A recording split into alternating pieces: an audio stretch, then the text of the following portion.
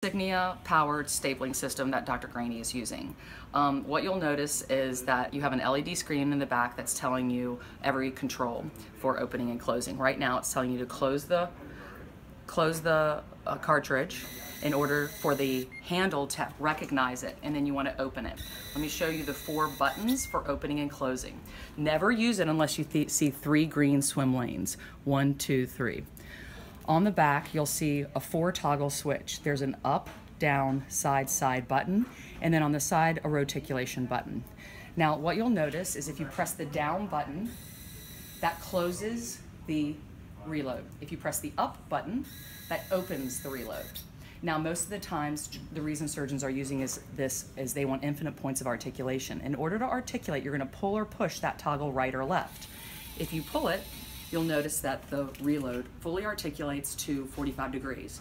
If you push it, it's gonna stop at the neutral position and then you'll push it again for it to articulate on the opposite direction. Now roticulation is these two buttons. If you need to roticulate at 360 degrees, you can press down and again, it always is gonna stop at the 180 degree mark at neutral. And then you can press it down again. Opposite way would be the opposite button.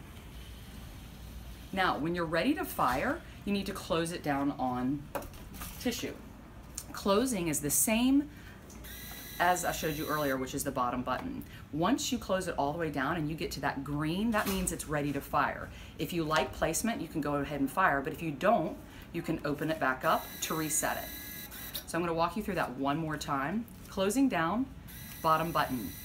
You see green, you press that button. It hasn't fired, but it's, it's setting the, the stapler so that you're able to fire. If you don't like the position, open it and it's gonna reset it. Okay, so now we're gonna fire it. Close, bottom button. You see green, you press it, it starts to flash. That means it's ready to fire, the safety's released. And again, fire is the same as close. Close down, and you'll always notice with our staplers, it's like an I-beam mechanism physically drawing the forks together from the proximal to distal end. Once you get all the way to the end, you'll open it by pressing the top toggle. The I-beam mechanism pulls the stapler all the way back. It opens it, and if you hold on to that reload, it will automatically neutralize it to center. Then it pull, you pull it out of the trocar, either closed or open, preferably closed so that it doesn't pull the trocar out. And then when you hand it to the um, tech, what's important for them for loading and unloading is that they open the stapler. It will break it if they don't unload the stapler um, with it open. Pull back on the blue and twist the reload off. You'll notice that the swim lanes now have gone to two green swim lanes versus three because there's no reload on it. The stapler on the LED screen is telling you to put a reload on.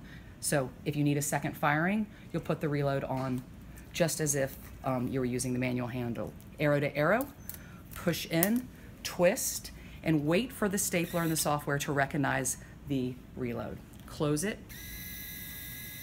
open it, and most of the times you'll see three green lanes, which means it's ready to fire.